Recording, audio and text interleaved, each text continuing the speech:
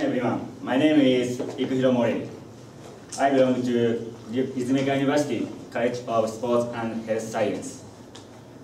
I think that I am the worst presenter in these presenters, but I try to present very hard. I would like to talk about the difference between the image of before entering school and after. This is the outline. It has passed about one year, one year since I entered this university. So I would like to feedback in myself.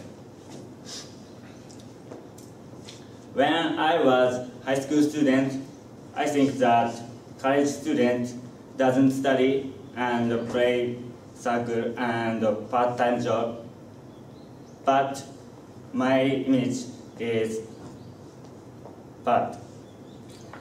In fact, many students study hard. For example, Mr. Oda, Mr. Shinohara, and Mr. Okuno. So uh, then I get stimulated from them. So I decided to study English very day, every day. Sorry.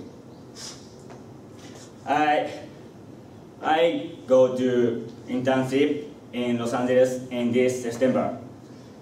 There I want to get some English skills and uh, sports science skills in there, in there, at there. Uh, and uh, I would like to present like them. So I try to English, study English every day. And uh, I now I began to like study English thanks to Mr. Kimura. Thank you for listening.